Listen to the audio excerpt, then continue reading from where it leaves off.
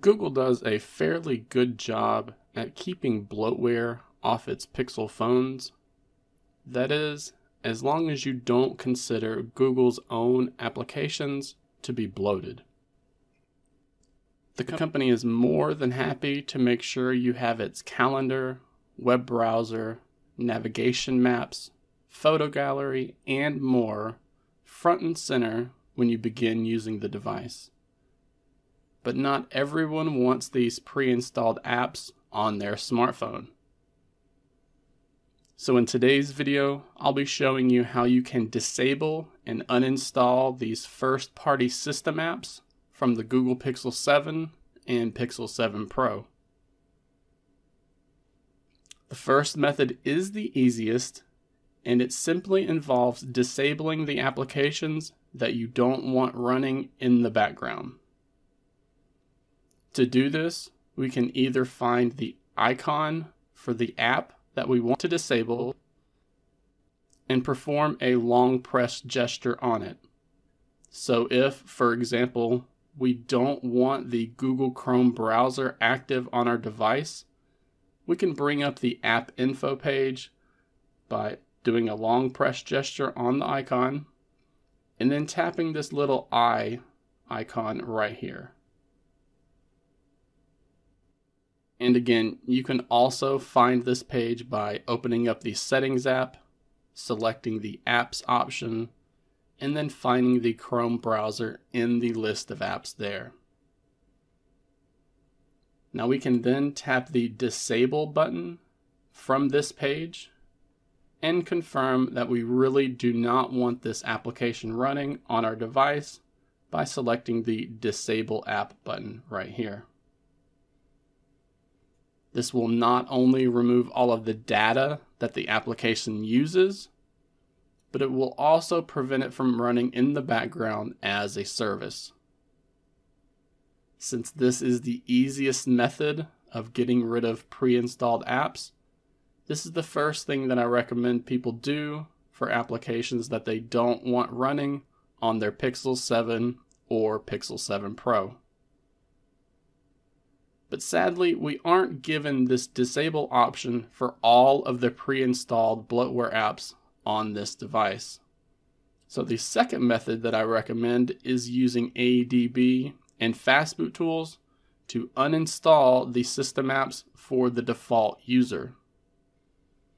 Now this method is a bit more complex, but it is still relatively easy to do. So we can see that the disable button is grayed out for the Google Messages app. But if you're happy with using a third party solution for this, then it shouldn't hurt your phone to remove it if you don't want it on your device. Before we can uninstall it from the default user account, we first need to install ADB and Fastboot tools on a desktop or laptop computer. We also need to enable USB debugging mode on the Pixel 7 or Pixel 7 Pro so that the phone can properly connect to the PC and so those commands can be run without any errors. If you're not familiar with how to install ADB and Fastboot tools, or if you're not familiar with enabling USB debugging mode, then you'll find links to previous videos that I've done covering those topics in the description below.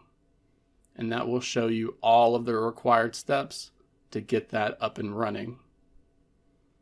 Now we also need to install an application from the Google Play Store that will tell us the package name for the apps on your phone. These are free in the Google Play Store. And I'll be linking to the app I'm using here down below with the others that I just mentioned. So using one of the free package name apps from the Play Store, find the package name of the application you want to uninstall. In this example, it is the Google Messages app, and we can find the package name is com .google.android.apps apps.messaging. Now once we have all of that set up, we need to then open up a command prompt, a Windows PowerShell, or a terminal window in the same folder as those ADB and Fastboot tools. And we also need to connect our Pixel 7 or Pixel 7 Pro to the PC using a USB cable. Once we have that prompt up, again, within the same folder as our ADB and Fastboot files, we then need to drop into a shell prompt by executing the command adb space shell. Now, if you have everything set up correctly, you're going to see us go from one prompt to another since we have our Pixel 7 Pro connected to the PC with a USB cable.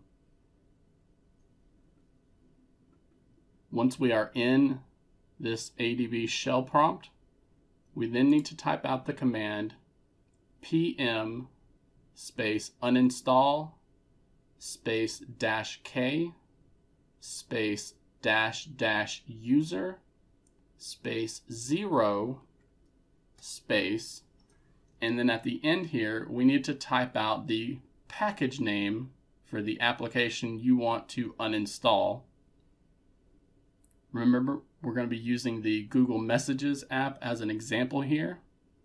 So that package name is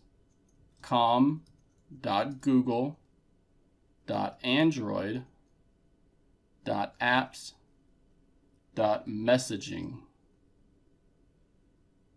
With that entire command typed out, we can then press enter on the keyboard. And if everything was done correctly, you should see a success message appear right there before you are dropped back down into another ADB shell prompt. We can look back at the phone after seeing that message to confirm that the application icon is no longer there. We can look for it in the application drawer. We can see the messages application is no longer there. We can even go in the settings application, finding the app in this application list here to check and make sure that this application is no longer installed for this user. If you see this message here, that means the application has been uninstalled for your default user account it cannot be ran and it will not be allowed to run in the background either. So today I have detailed two different ways that you can get rid of pre-installed bloatware system apps from the Google Pixel 7 and Pixel 7 Pro smartphones. This process will also work with last year's Pixel 6 series and it will even work on the upcoming mid-range Google smartphone, likely to be called the Pixel 7a.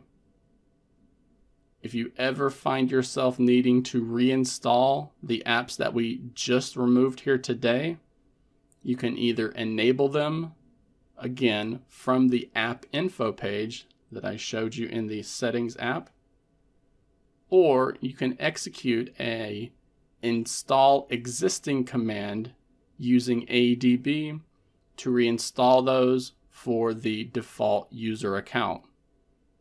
I have covered this reinstall existing command in a separate video as well, which you'll find linked in the video description below.